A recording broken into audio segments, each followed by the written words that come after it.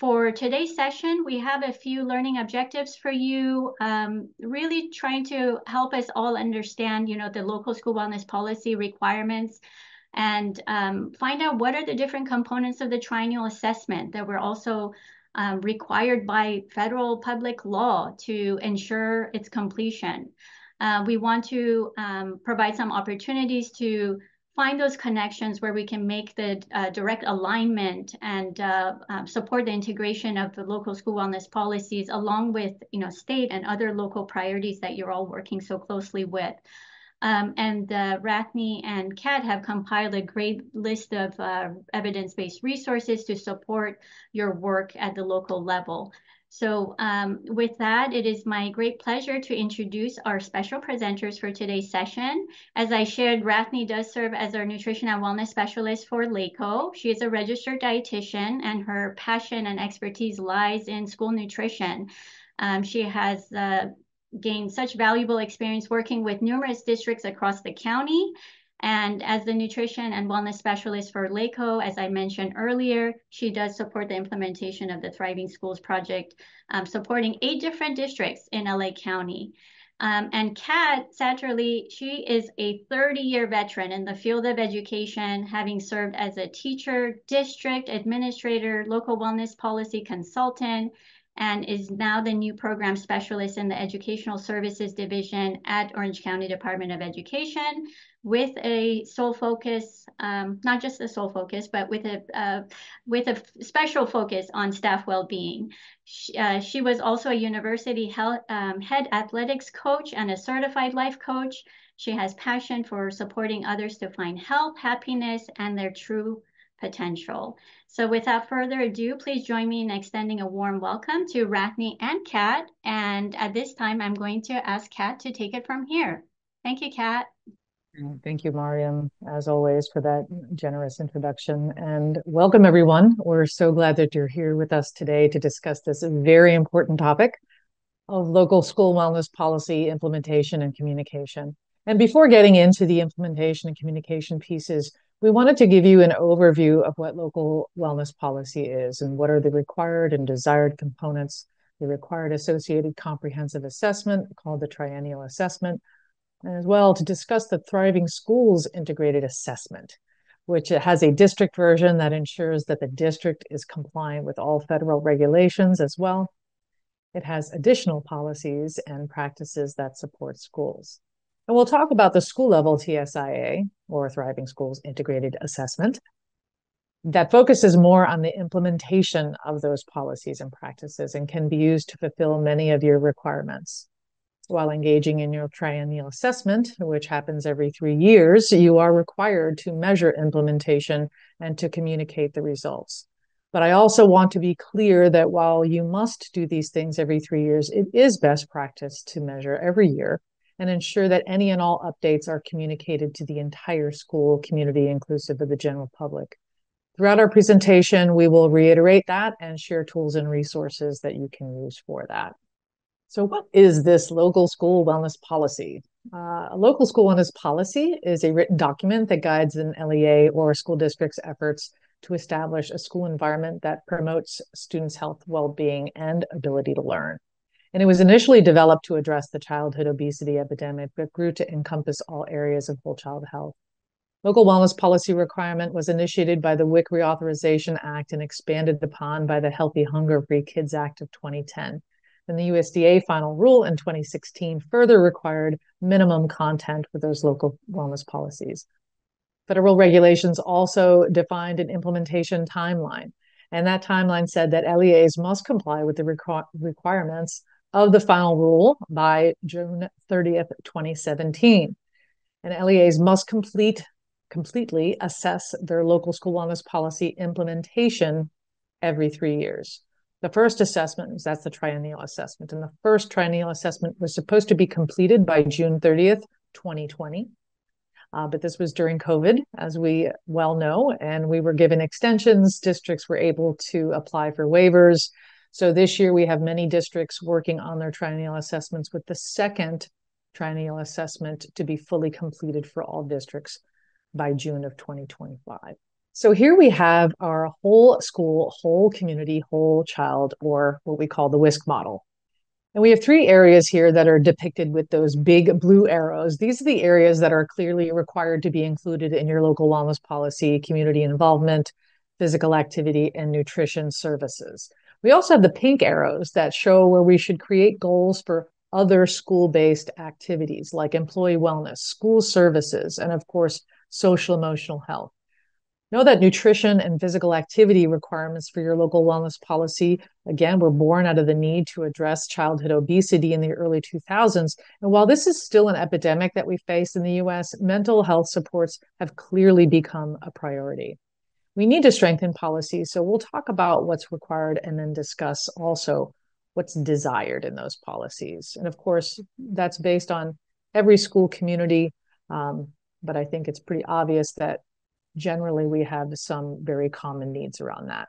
I also do want to mention that there are other types of policies that exist that relate to child health and specific California mandates that schools are responsible to address or districts are responsible to address, such as Assembly Bill 2246 and 1767. These require suicide prevention policies. So this is something that will often be in a standalone policy, uh, such as, um, and also tobacco policies, right? We have tobacco policies at the district level, and they are health related, and we can include them in our local wellness policy, but these are board policies.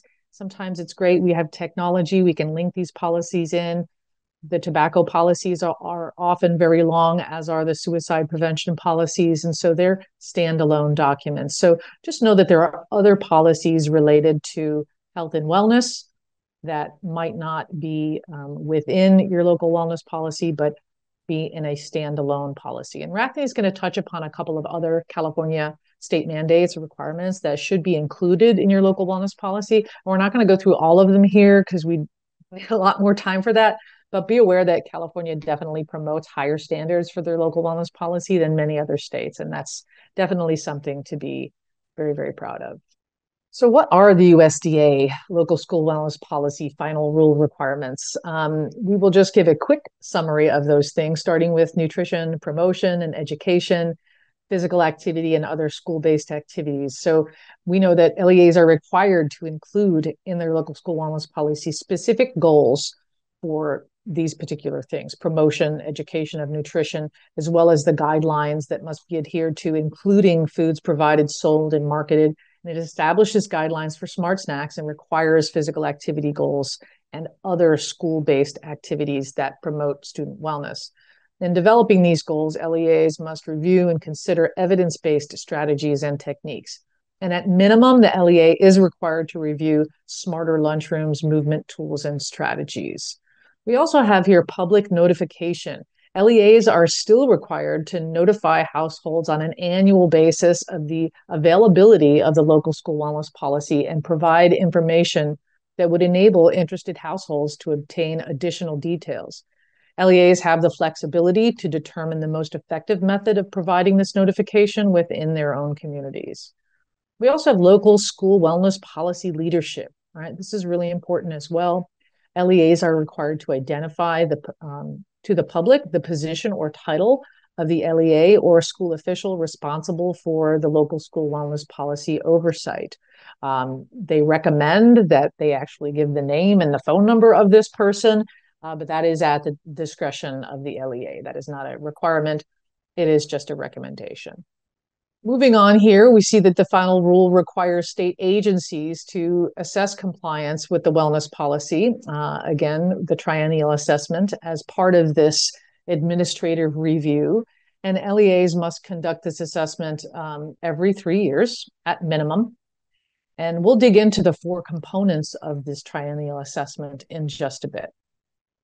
We look at documentation here. The state agency will examine records during your administrative review. So they'll come in and they're going to want to see copies of the current wellness policy, documentation on how the policy and assessments are made available to the public, the most recent assessment or measurement of implementation of the policy, and documentation of your efforts to review and update the policy, including who was involved in the process and how stakeholders were made aware of their ability to participate. I really like this because this really tells us how important it is to not just have one person or two people addressing these requirements, right? These require teams and ensuring that we invite the public in to participate in this process. We also need to provide any updates to the wellness policy. The final rule says that LEAs update, if you update or modify the wellness policy, um, you should do it as soon as possible. It should be uh, immediate. It should be uh, communicated to the public.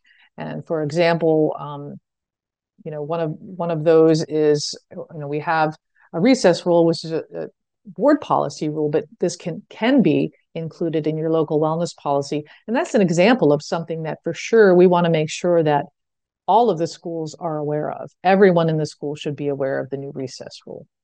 So that can also be provided in some of those public updates, which is what we're going to talk about next. And this rule, the rule around public updates requires that LEAs must take uh, must make available to the public one the wellness policy including any updates to and about the wellness policy on an annual basis at minimum, and the triennial assessment, including progress towards meeting the goals of this policy. And again, Rathney is going to get into some of the details of that and all the great ways that we can communicate that information. Okay, so just for the heck of it, I know we said that you know some people um, had not been part of this process before. So this is important, right? The idea is that the local education agency is making everyone aware, everyone at the district level, everyone in schools, all of your families, anyone in the general public. This should be communicated in a variety of ways. And again, Rathney is going to really help us to understand how to do that really well. Now we've just talked about our required uh, components, right, for a local wellness policy. And then here's an example of some policy language that can be added under the umbrella of other school based activities that promote student wellness, right? So as we think back to the WSCC model that we showed just a moment ago, this could be social emotional health, could be school health services, etc. But here we're showing language for employee wellness, my favorite topic. there are several bullets listed here, as you can see on this slide. And I'm sorry, I know that the, the text is really small, but we just wanted to show you an example of all of the things that you could potentially include in your policy. And this came from Healthier Generations model policy.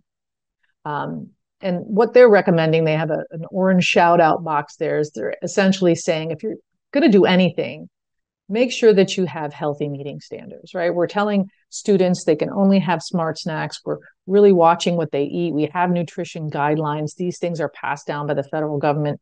And, you know, there are lots of movements within schools to have healthier food.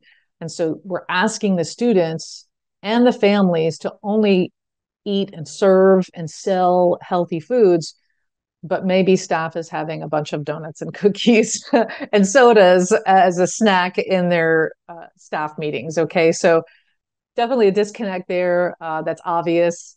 Um, I know that staff deserves treats sometimes too, but try to make those snacks smart snacks the next time you have a meeting. Additionally, some of the foundational goals to support staff here to have a place where staff can relax, right? This is a place that can build relationships. It feels separate from the rest of the school. So think, you know, Zen design, gratitude practices are also very important. Uh, and Healthier Generation has a great turnkey resource for that. And we know that many of the things that we need in education, like sprucing up a staff lounge, is not free, uh, but there is funding available through your LCAP. So let's take a look at that.